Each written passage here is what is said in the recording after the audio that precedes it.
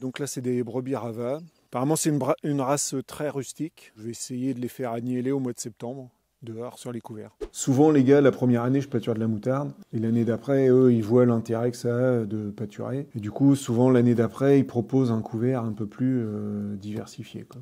pâturage euh, tritical au blé. Euh, euh, ça, ça se voyait, quoi, l'œil nu, quoi. Le fait du piétinement, tu euh, supprimes le premier apport d'azote. On a remarqué que le blé était beaucoup plus beau, aussi qu'il était pâturé, que si tu ne mettais pas d'azote ou de piétinement. C'est pas un système non plus super sécurisé parce que d'une année à l'autre, euh, tu sais jamais la surface que tu vas avoir.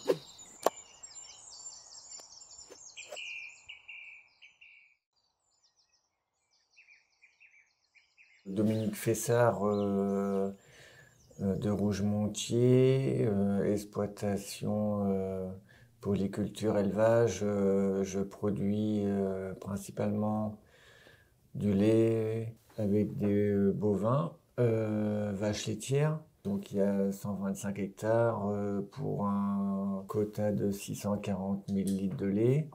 On s'est retrouvés ensemble euh, sur un, site euh, internet, euh, sur un groupe au vin, et puis j'ai vu que dans certaines régions, ils utilisaient le mouton comme pâturage de blé pour améliorer leur rentabilité, parce qu'ils produisaient pas gros rendement en blé, mais ça pouvait me permettre de diminuer, moi, le pesticide. Euh, moi, donc Samuel Foubert, euh, je suis éleveur de, moutons, donc j'ai pas de terre, enfin j'ai qu'un hectare chez moi, pas de bâtiment, et donc euh, tout le monde est dehors. Donc j'ai commencé il y a 5 ans les moutons avec deux brebis, des roussins de la Hague et aujourd'hui, j'en ai, j'ai 110 roussins de la Hague. Et puis là, j'ai acheté une dizaine de brebis rava. Et euh, bah, je pâture euh, beaucoup de couverts végétaux. Donc euh, tout l'hiver, quoi. Et puis après, au printemps, un petit peu de couverts chez Dominique avant les maïs. Et après, les herbages, je prends ce que je trouve, quoi. Un peu à droite à gauche, des parcelles et tout en pâturage tournant dynamique. Bah, je répartis, je fais le moins de l'eau possible. Ça, c'est pour simplifier le travail. Et après, euh, souvent, les agnelles sont sur un lot avec un couvert assez riche. Et puis après, les brebis euh, sur des couverts un peu moins, moins riches. On essaye de jongler entre ça, enfin, en fonction de ce que je trouve. Euh. Après, au début que j'ai commencé, c'était beaucoup de moutarde. Enfin, je pâturais que de la moutarde. Quoi. Et ça, fait du verre, mais c'est tout. Aujourd'hui, euh, la moutarde, il y en a de moins en moins à pâturer. C'est des couverts beaucoup plus diversifiés. Puis, euh, bah, pour les brebis, c'est nettement mieux. Moi, je pâture ce qu'il y a. Euh, souvent, les gars, la première année, je pâture de la moutarde parce qu'ils font beaucoup de moutarde. Et l'année d'après, eux, ils voient l'intérêt que ça a de pâturer. Et du coup, souvent l'année d'après, ils proposent un couvert un peu plus euh, diversifié.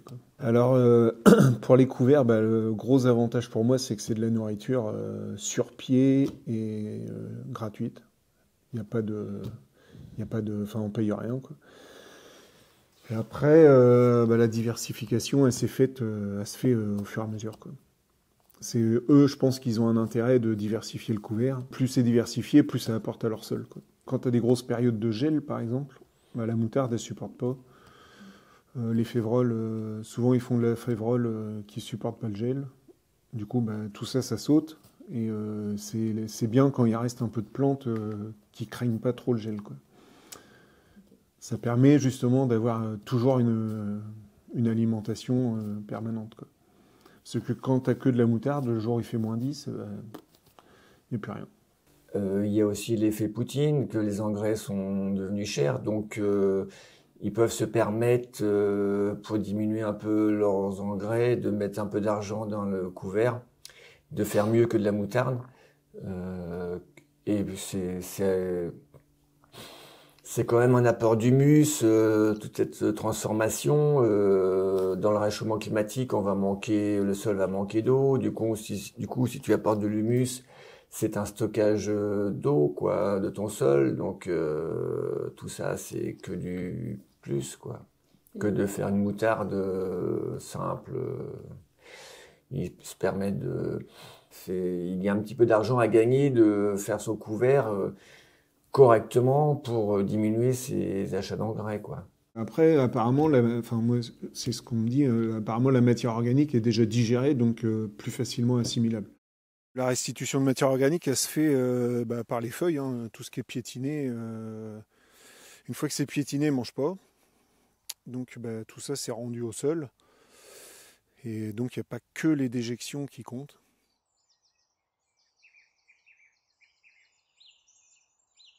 Il y a eu des parcelles de témoins euh, par rapport à notre pâturage mouton. Donc euh, on le voit, on l'a vu, le résultat. Euh, moi je parle le pâturage tritical au blé. ça, ça se voyait quoi, l'œil nu. Quoi. Donc le fait du piétinement, tu, tu supprimes le premier rapport d'azote parce que le premier, premier apport d'azote, tu fais taler ton blé ou ton, triticale, que là, avec le piétinement, euh, en fait, les, anciens euh, ne faisaient pas le, pas d'apport d'azote euh, chimique. Donc, ils passaient le rouleau ou les moutons pour aplatir ta plante et la faire taler. Alors que le conventionnel, il fait un apport de 40 unités au mois de février d'azote. Ensuite, on a remarqué que le blé était beaucoup plus beau, aussi qu'il était pâturé que si tu ne mettais pas d'azote ou de piétinement dans le témoin. Et puis le fait de retirer les premières feuilles euh, au mois de février de ton blé, tu le mets carrément à nu, il reste euh, qu'une petite tige rien du tout. On avait l'impression que peut-être qu'il n'y aura pas d'épis comme chaque essai euh, que personne fera, c'est vrai que c'est impressionnant parce qu'il y a presque plus de sur la parcelle, ou c'est un champ de boue. Mais euh, en fait, euh, il redémarre avec une nouvelle feuille au printemps, au mois de mars, et c'est impressionnant, la feuille elle est noire. Il est tout noir, tombé, alors que le témoin, il est en feuille marron, il est déjà malade un peu, il a un manque d'azote. Donc c'est le premier résultat Hein, pour, pâturer ça, il n'y a pas de, enfin, il a pas vraiment de recette magique. Après, euh, là, moi, je faisais des paddocks sur 24 heures. Enfin, il restait que 24 heures par paddock et chargement, il y avait à peu près 200 brebis hectares. Sur le site, euh, on a, j'ai demandé des infos. C'est à partir du stade 3 tal de ton, de ta culture. Donc, euh, moi, mon but, c'est de ne pas faire d'insecticides ou de diminuer mon désherbage. Du coup, je fais un SMI euh, le 10 novembre, au lieu de faire un SMI le 10 octobre, je décale d'un mois. Comme ça, je suis tranquille point de vue insecticide. Et mon stade 3 tal arrive au mois de février. Par contre, si tu le fais ton SMI tritical ou blé le 10 octobre, ton stade 3 tal, tu l'auras début décembre. Quoi. Donc c'est un pâturage, c'est suivant le stade de ta culture en fait. Hein. La, euh, ça pas du tout le comment dire le février n'est pas du tout euh, la, clé quoi. C'est le stade 3 tal de ta culture.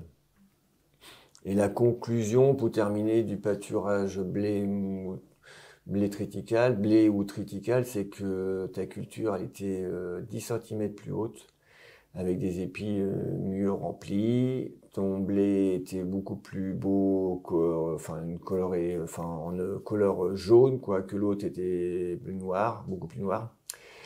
Le, témoin, et puis il y avait eu un fongicide dessus. Donc je ne fais plus euh, mon insecticide, je diminue fortement mon désherbage, euh, je décale ma période de semis par contre, euh, je fais faire mon travail par une entreprise parce que tout seul, euh, tu euh, fais pas pour faire du bon boulot au mois de novembre. il est fait en deux jours. avant, je le faisais avec mon père. On le faisait sur 15 jours, les semis de céréales. Alors, quand je pâture chez les céréaliers, il n'y a pas d'abri. Il n'y a rien du tout. Ils ont, ils ont de la laine sur le dos, donc ils ont à manger. Donc elles souffrent pas. Après, j'ai des parcelles qui sont gorgées d'eau, ça c'est le problème. Après, euh, moi j'ai des brebis rustiques, hein, euh, elles vivent dehors, euh, elles s'adaptent. Ils ont de la laine sur le dos, moi je les tonds deux fois par an, je les tonds une fois avant de les mettre sur les couverts, pour qu'elles aient moins de laine sur le dos justement l'hiver. Comme ça, quand il y a des gros épisodes pluvieux, elles, se sèchent beaucoup plus vite.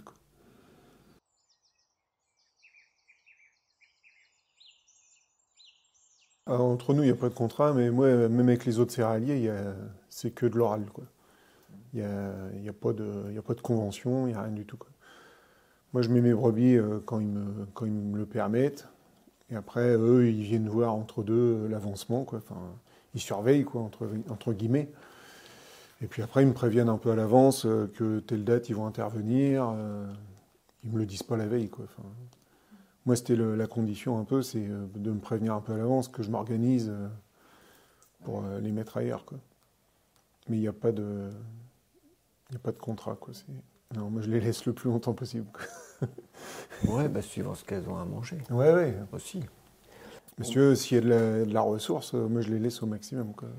Oui, moi, la, seule chose qui s'est passée au printemps, c'est que quand j'avais découvert que j'avais pas beaucoup d'azote sur mon sol, je voulais à un moment donné, dans mon idée, il faut l'élaborer assez rapidement pour que la, le trèfle se décompose pour libérer mon, pour mon maïs. Quoi. C'est comme ça que je t'ai dit, à un moment donné, euh, bah, on l'aimait, mais euh, on prévoit la charrue, euh, je sais plus, peut-être le 20 mars. Quoi. Ouais.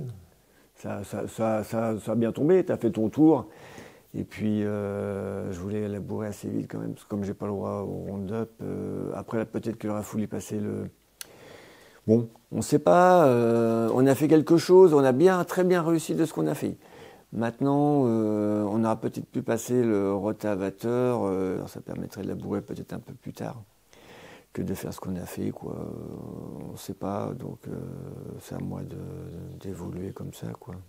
La diminution du pulvérisateur, moi j'ai remarqué ma cuve à fioul la descend beaucoup moins vite quand même. Un hein. pulvérisateur, on ne croirait pas, mais un tracteur qui tourne, euh, ils le disent. Euh, ouais, euh, bah ouais, quand tu faisais le conventionnel, je faisais 10, 12 passages sur le blé.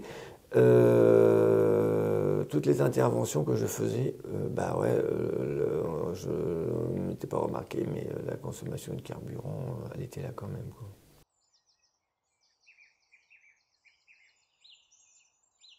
Du coup, ce qu'on a fait euh, l'année dernière, il n'y a pas eu de triticale de fait sur l'exploitation. Ça ne rentrait pas dans mon assolement. Je, n'ai pas de moissonneuse, c'est une entreprise qui vient. Je ne vais pas semer deux hectares de triticale histoire de faire du pâturage mouton. Euh, il y a quand même de la route pour la machine. Je vais pas, il n'y a pas eu de triticale. Euh, pas. En plus, mon but c'est de faire des associations. Donc, euh, si tu fais association, ne pas mettre d'azote non plus sur ta culture, ça n'allait pas. Cette année, j'ai refait du triticale pur. Donc, on pourra refaire, si on veut, du pâturage mouton dessus, quoi. C'est pas du tout un problème. Là, il y en a 15 hectares. Mais au printemps, par contre, il y a eu du pâturage prairie que j'ai fait du maïs après comme je suis un sans glyphosate, euh, je n'ai pas voulu euh, récolter euh, ma prairie avant de faire mon maïs parce que je vais vider mon sol en eau. Je veux un beau maïs. Je ne veux pas prendre le risque d'avoir un petit maïs d'un mètre de haut parce que j'ai fait mon ensilage. Et ça, il y a encore qui le font, mais moi je ne prends pas ce risque-là. Tant qu'à faire dans une culture, je veux que ça marche quand même. Du coup, Samuel, il m'a fait mon pâturage prairie au mois de février avant de faire mon labour pour mon semis de mon maïs.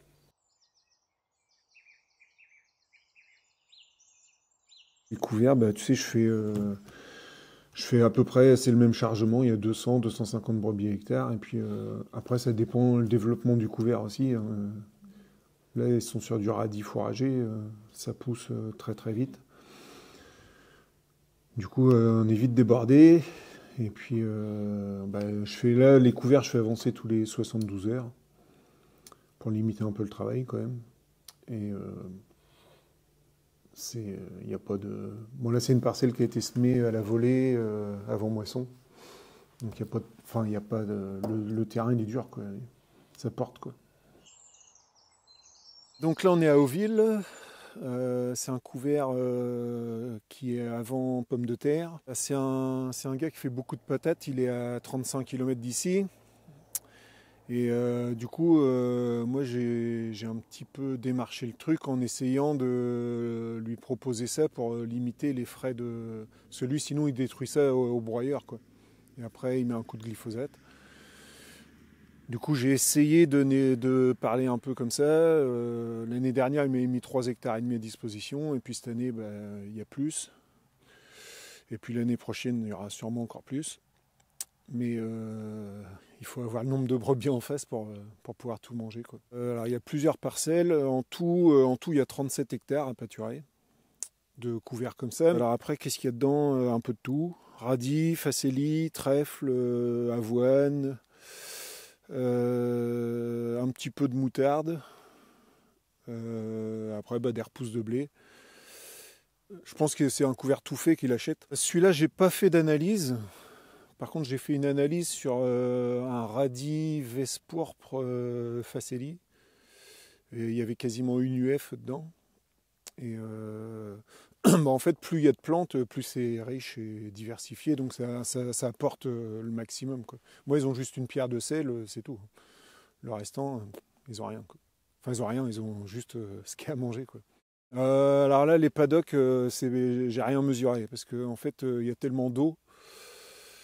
J'ai fait, j'ai fait surtout pour que les brebis puissent remonter au sec. Parce que là-bas, c'est détrempé et là, c'est un petit peu plus sec. De toute façon, là, on voit la, démarcation. Et euh, donc, je me, là, il n'y a pas de calcul. Mais bon, c'est pas, pas grave. Bah, là, sur le couvert, euh, piétinement profond, c'est pas trop grave. Parce qu'eux, ils retravaillent ça au printemps. Après, c'est plus les brebis qui sont euh, un peu moins bien, on va dire. Mais là, là, ils ont une partie où c'est sec quand même. Donc. Euh, elles trouvent leur compte. Après, elles vont dans la partie vraiment humide que, euh, que quand elles ont vraiment très faim, et puis elles peuvent se coucher là euh, sur le sec. J'ai les, brebis gestantes, elles sont à Routeau, là, à côté, enfin pas très loin. Il y alors là-bas, c'est radis fourragé, veste et facélie. Donc là, la veste, forcément, là, je l'ai un peu. le radis, par contre, c'est un truc de malade. Ça, ça pousse comme un. Enfin, j'arrive pas à en avoir le dessus. J'ai 10 hectares là-bas, euh, je, suis déjà au deuxième passage et ça pousse toujours. Donc. Et puis euh, les autres, elles sont à Flancourt, les agnelles. Et là-bas, euh, févrole, trèfle, avoine, facélie, tournesol. puis ça doit être à peu près tout. Ouais, c'est à peu près tout.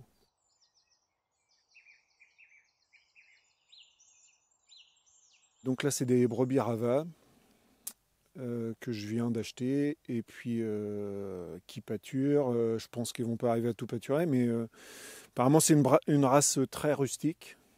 Et donc je vais essayer de les faire agnêler au mois de septembre, dehors sur les couverts. Parce qu'en fait, c'est une race qui désaisonne naturellement. Parce que le roussin de la Hague, la race que j'ai, tu peux pas les désaisonner en fait. Du coup, Enfin, c'est bien, c'est une race adaptée aussi pour pâturer ça, quoi, mais, euh, mais ça désaisonne pas. Donc euh, là, j'ai essayé avec la Rava qui désaisonne très facilement, apparemment. Donc euh, je vais essayer, on verra bien si, si ça colle ou pas. Quoi. Après, je vais croiser avec un bélier charolais pour amener un peu de viande, parce que c'est pas des brebis très très grosses, quoi. Mais on va essayer, mais il faut que ça agnelle sur les couverts, quoi, pour avoir de la ressource fourragère au bon moment. Quoi.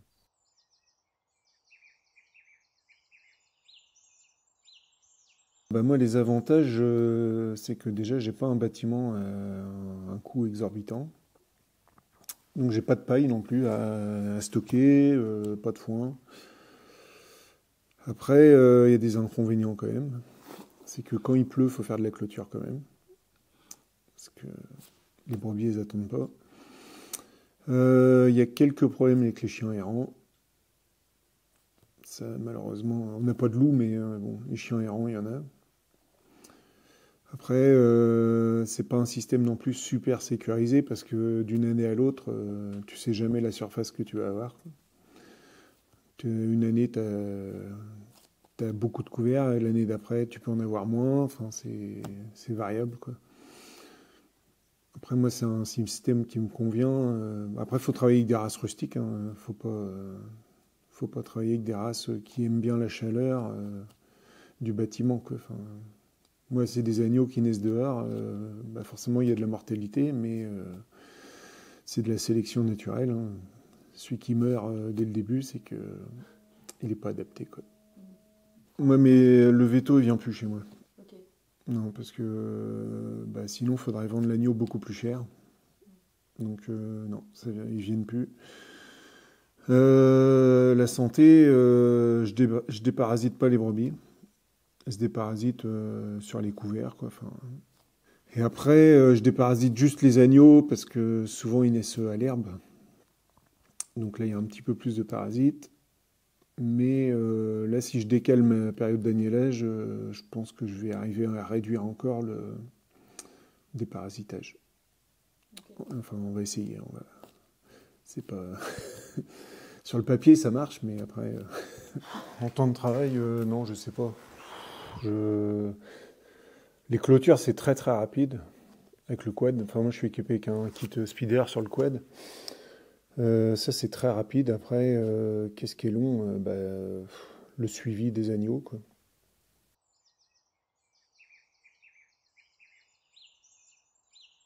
Pour l'instant, j'investis pas mal dans le matériel. Donc, clôture qui coûte très cher, parc de tri mobile, moutonnière.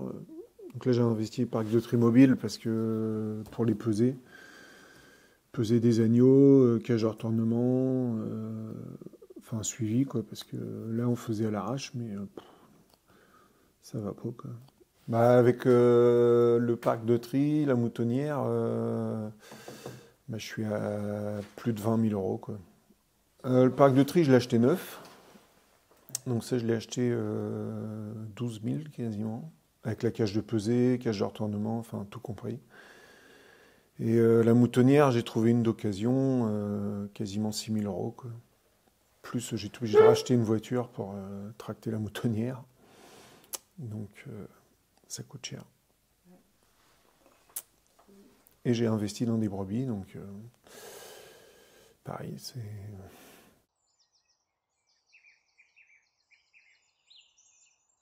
alors pour l'instant, c'est demi-agneau.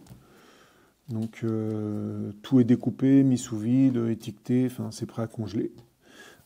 Et puis à l'avenir, euh, là je réfléchis pour développer un peu la gamme justement en plat cuisiné, tartinable, euh, peut-être euh, un petit peu de charcuterie si on peut. Enfin, c'est au kilo en fait. Mais je vends pas 16,50 pour l'instant, mais je pense qu'il va falloir que j'augmente un petit peu. Parce que les frais sont quand même, sont quand même là. Quoi. Euh, les gens viennent chez moi. Je loue une remorque frigo euh, sur 3 ou 4 jours selon. Euh. Et puis bah, les colis arrivent, tout est dans la remorque frigo et puis ils viennent chercher au fur et à mesure.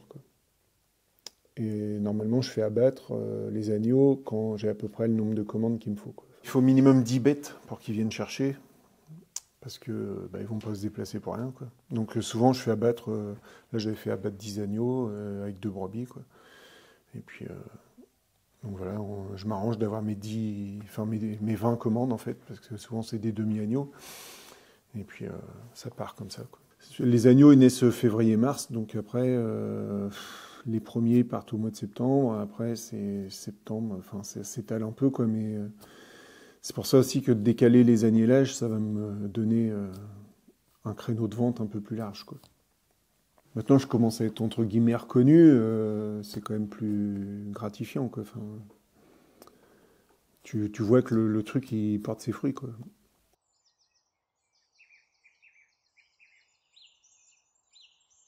Pour faire des associations comme ça, il faut commencer sur une petite surface et puis euh, bah, attendre les résultats avant de continuer. Quoi. Enfin, faut pas se lancer sur 50 euh, hectares et puis dire on verra bien.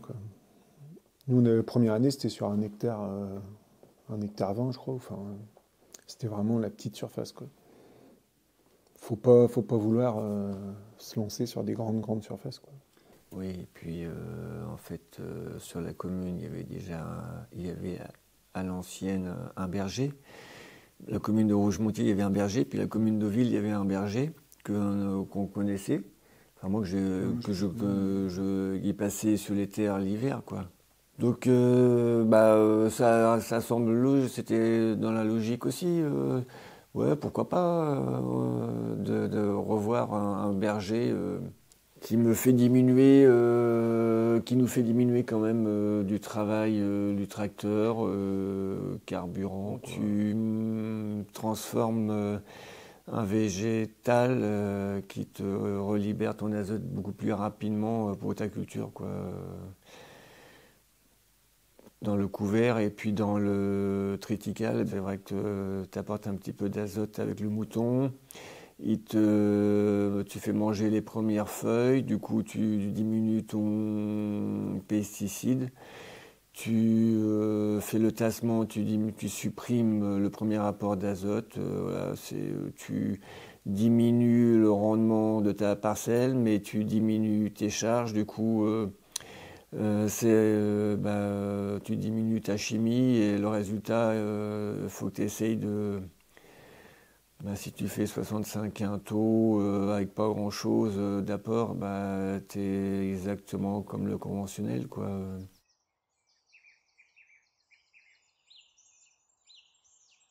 Ça, je vais faire du pâturage de vigne, mais euh, sortie hiver, apparemment.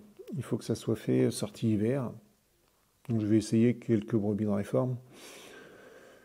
On va voir les brebis qui sont pas pleines, enfin, je vais voir, euh, trouver un petit lot à mettre là-bas. Et voir un peu ce que ça peut faire. Je me suis renseigné un petit peu. alors, moi, pour moi, l'avantage, ça va me donner de l'herbe. Après, pour la vigne, ça va manger un peu tout ce qui est mort. Enfin, ça va nettoyer l'interrant. Et puis apparemment, le piétinement, ça tue un peu tout ce qui est euh, campagnol. Euh, enfin, ça détruit un peu les galeries, quoi. Ça met à nu un peu toutes ces, toutes ces bestioles. Diminution du pesticide, de la chimie, quoi. Je l'avais déjà fait laisser dans un verger de pommes. Et euh, ça marchait bien. Enfin, c'était en partenariat avec le parc de Bretonne. Et, ça avait bien marché quand j'avais fait avec des agnelles. On avait peur qu'elles mangent les écorces, mais quand il y a un suivi minéral, ça, ils n'y touchent pas. J'avais fait un apport minéral euh, régulier. Quoi. et puis après, euh, on les change régulièrement de parcelles, qu'elles aient de l'herbe entre guillemets fraîche régulièrement. Quoi. Enfin, faut pas, faut pas faire des grands parcs et dire je les laisse tout l'hiver. Parce que elles vont manger tout le bon et après, ce qui est moins bon, eh ben, elles ont du mal à le manger. Du coup, là, elles vont s'attaquer à tout ce qui est plus tendre.